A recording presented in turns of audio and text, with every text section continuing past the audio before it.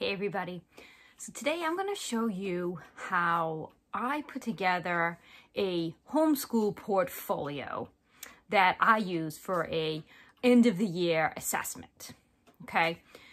So I live in a state where you can either submit uh, test scores, standardized test scores for your homeschool child at the end of the year, or you can submit a portfolio that a certified teacher looks at, discusses with you, signs off, and you submit that form saying that your portfolio has been assessed by a certified teacher.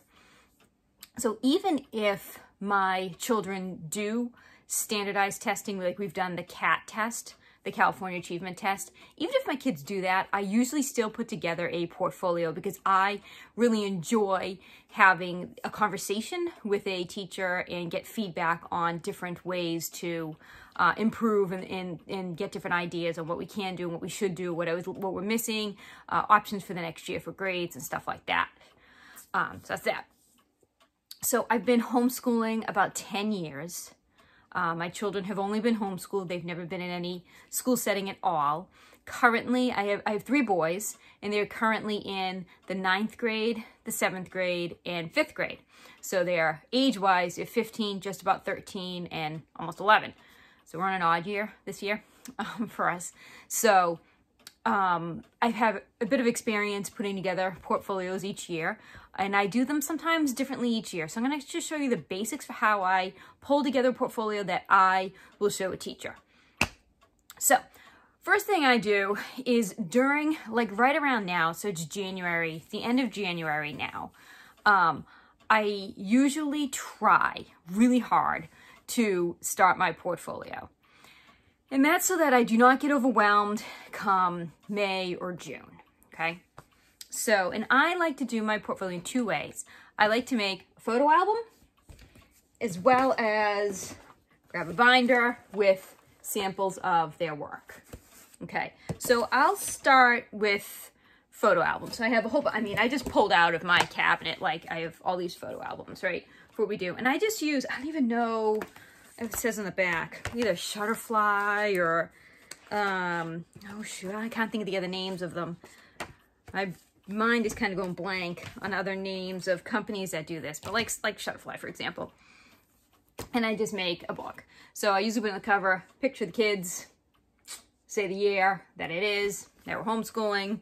Um, I put the grade next page. I, I usually, this is how I usually do every single one of them.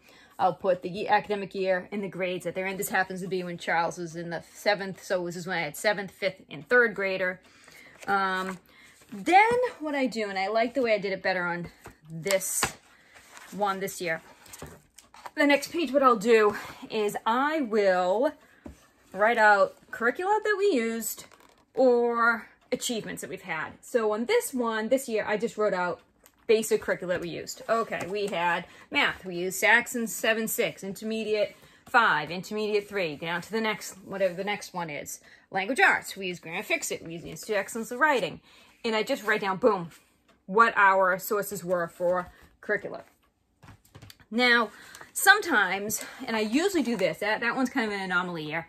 Uh, you, I know you can't read this, but I want to give you an idea of like the size that I would write for each child or each subject. So I would start it with, I started with mathematics and I write a paragraph about my oldest son and his, what he did in math. And then my middle son and what he did in math and my youngest son and what he did in math. And I word it like, you know, like this was primary resource was Right Start Math Level E. Then we switched to teaching textbooks 4. Um, he started on this level, but we found that the program wasn't working well for him, so we switched. Anyway, um, and, and so I'll write, and we did, it began with a solid review of addition, subtraction. It's just a basic synopsis of what um, he learned with that curriculum. And then I moved on, you know, to language arts, the oldest, the middle, the youngest, and I just go on through all the required subjects in my state. And so this is more of a um, conversational style how things were going so that if the teacher was unable to sit directly next to me, which she always does, um, she could open this up right away and get a, a, conversational style of what it is that, that we did. and again, like I said, the last year, or the, this other year, I just did it quick. Oh, you can tell this year was a rush year. But I still listed the curriculum we used so that I have it. Then on the photo books, I really try to just concentrate on different things that we did that you can't capture on a worksheet, right? Different things. A lot of them are science, going to a science center, um, history museums, you know, museums that we've gone to, kind of hands-on learning. Um, uh, one of my son did tap and hip hop and soccer, so athletics and extracurricular activities and things like that. All things that you really can't get a sense of on a piece of paper, written written work. Okay, so that's how I do my photo album. Sometimes, oh yeah, like if they're involved in any any other um, after school activities, science experiments that are kind of hard to show, especially the younger levels. At an older level in high school, you can give a lab report, but at the younger levels, it's kind of nice just to have more of a photo reference of what it is that you do. So that's how I did. Now, one year, like I said, I make these things different every year. So there's no right or wrong way to put together your portfolio or your photo album. I'm just sharing with you different ways that I've done it. One year I did it by um, subject that's required in my state. So I did a page on library skills. I did a page on health and physical education. Um, I did a page on fine art or spread on fine arts. Um, a spread on science. Yeah, I made some eyeballs. Uh, that really wouldn't fit in a portfolio to show um, social studies, different field trips. So there's different ways that you can break down your photo album, right? One, you can just throw together pictures like this year. I was like, oh, I'm just going to throw together pictures of things that I can't, you know, or you can do it more succinct, like by subject or by uh, topic or something. So I do that so that the teacher gets a sense of who we are and what we do and what their learning looks like. Okay. Then on to the binders. So I've done these in a couple of different ways also. So the binders have samples of their work that they have done throughout the year. And so like I was saying, starting around now is a good time to start pulling out samples of work that your child has done in the first semester, if you want to you know, break your school year up into semesters, um, so that you're not overwhelmed at the end of the year. So what I do is in all honesty, I, actually I'll tell you two different ways I've organized it. One year, I organized it by child. So I started with, oh, I'll tell you about that in a minute, hold on. I started with my oldest, and I put in samples of their work. Okay, started with my oldest, and then went on to the middle child, then went on to the youngest child. Another year, I did it by subject. So I organized this and I did everybody's examples of, let me open this because there's some extra stuff I'll talk to you about in a minute. Hold on. Examples of everybody's math. So first my oldest kid's math, some examples, and then my, whoops, that one's taken out. And then my middle kid's math, and then we moved to language arts, and we moved to um, history, and so it was grouped by subject. So you can organize a portfolio binder by your child and do everything for that one child or by subject. This is what all three of them did at this subject. This is what all three of them did in this subject. Totally up to you. Or if you know who your teacher is who's going to be reviewing, you can ask them and say, how, how do you prefer um, I show this to you? You know, I've done it both ways and the teacher that I use hasn't said e either way that she has a preference. Um, last time, for the last school year, we had to do it via Zoom, and she did want to go one child by one child. So I think this year I'll do it like that, too, for her. So what do I even put in these? So you can organize them by subject or by child. But what goes in here? So what goes in here? Samples of their work. And so for us, um, I don't want to use this one as an example because we did a lot of computer stuff that year. I'll grab this one. So for us, yeah, it's a matter of showing, I do what, one, two, three, four, five, six, seven, seven, eight-ish um, samples. I try to do beginning of the school year, so let's say September. I try to break them in quarters, two, two examples from each quarter. Roughly, it's kind of what this, this ends up by being, because I just counted out eight, we have four quarters.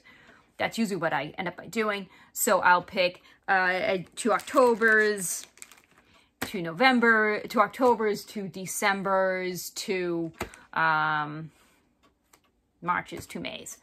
Samples of their work. And I will literally take out their, no, my kids do their math on, they like doing on colored squared sheets, Saxon.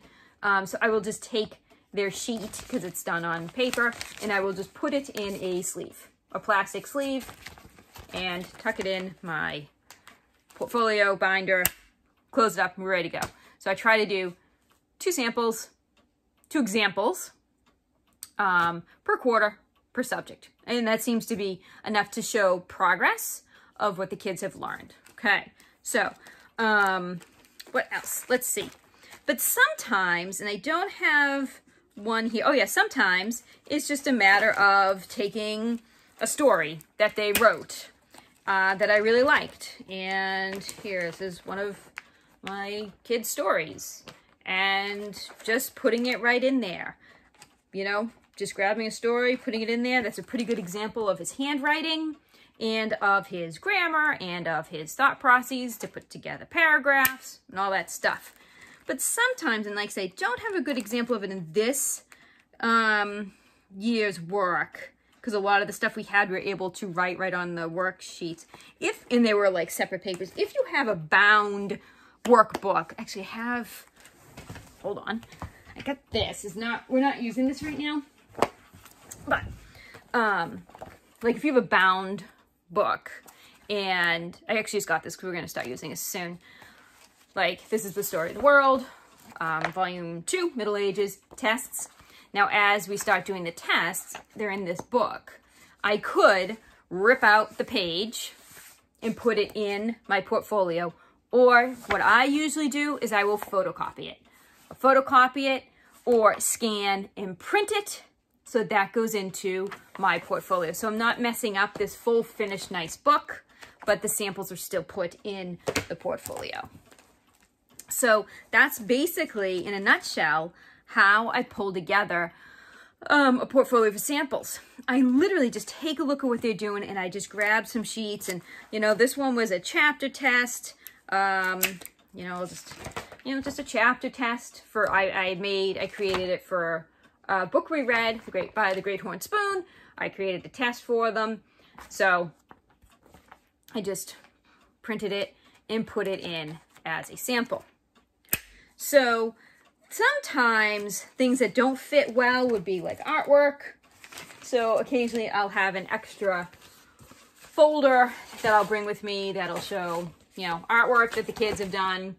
Um, sometimes the artwork fits right in here. I think someone made a, one year here, I'll show you this, you know, like a, what do you call this, like a schematic drawing that fit right in the portfolio nice and easy. Now, if I wanted to keep this with all of his artwork, again, I could scan it, print it, and then put in a copy in here.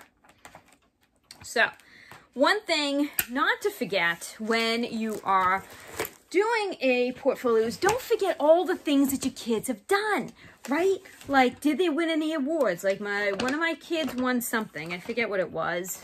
It was a, forget what, a knot tying in his, um, a troop activity he had done. Anyway, and my kids one year um, were one of their um, films that they make. My kids have a YouTube channel. It's the Sideshow Bros if you want to check them out. But they had made a movie and they submitted it and they were entered into a film festival and their little short movie was shown at a film festival. We got our certificate, so I put that in here. I put in also things, yeah, certificates, awards, Sometimes at the end of like recreational soccer, they'll give you a little certificate saying you completed it. I put that in there. Swimming, Red Cross uh, swim lessons, you know, they give you the, the, the sheet that tells you what level you're at. I'll throw that in the portfolio as well. Sometimes what I'll also do, just is more from my memories, not so much for the teacher, uh, but from my memories, is on the first day of school, and I don't think I did it this year. Um, I don't think I did. On the first day of school, and on the last day, I asked them some questions. And I'll write them down. So I'll say, I'll write down, so this one is like first day of seventh grade. He was 12 years old. He was five foot. Well, I'll tell you his weight. I write his height and weight. I asked him what his favorite movie was, Jurassic World. His favorite book, The Count of Monte Cristo. Favorite TV show, Parks and Rec. Favorite thing to do, going outside. When I grow up, I want to be. And then I ask at the end of the year, the last day of school. Wow, he grew two inches and like 17 pounds. Um, favorite movie changed, you know, favorite book changed, you know, was favorite movie went to Unbreakable. His favorite book was Prey by Michael Crichton. Favorite TV show, Psych. Favorite thing to do, woodworking. And it's kind of nice for me to see a snapshot as to how they've grown. Um, I don't know, just asking simple questions. So that is, in a nutshell, how I pull together my uh, portfolio that I will present to a teacher for an assessment